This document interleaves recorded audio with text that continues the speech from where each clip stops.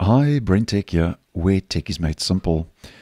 So, over the last couple of months, as I have been posting, Microsoft has been making a lot of changes and improvements to Edge's password manager, which is now found as part of the wallet feature and section in the desktop browser.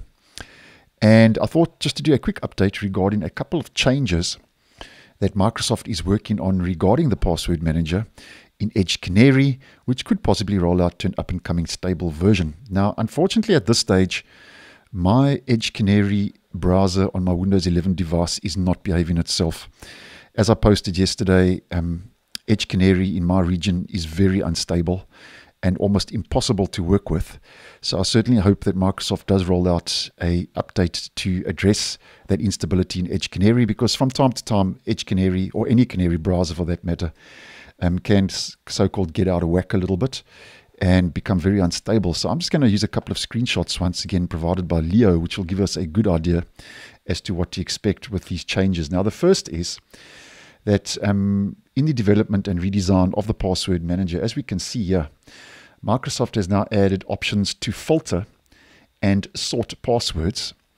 So if we just follow this um, GIF just to show us what that's all about, yet to the right hand side, you'll see that sort option. So if you click on sort in the drop down menu, we get recently used, recently modified, frequently used, and there we go. And then over and above that, we get a change password button, as you can see. So um, you can change your password, just edit different options and so on. And I think those two improvements are quite handy. Being able to sort um, and filter and sort through your passwords, especially if you have a good couple of passwords saved in the browser. And then being able to change and edit with that change password button and delete your passwords and so on.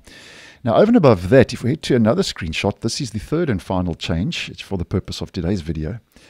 Um, another addition that Microsoft is working on in Edge's redesigned password manager, as we can see from the screenshot provided, is a manage passkeys button that, um, similar to Google Chrome, leads to the passkey section of the settings app found uh, in Windows 11 as an example. And passkeys, just to do a quick recap, uh, in case you are unaware, it's where um, biometric information is used. So you use um, biometric fingerprinting and face IDs as an example over and above using passwords. So that's just a brief overview of what passkeys is all about. So just wanted to highlight those three changes. So those could be handy additions that um, Microsoft could be bringing to Edge's password manager in the future and just wanted to highlight those for you.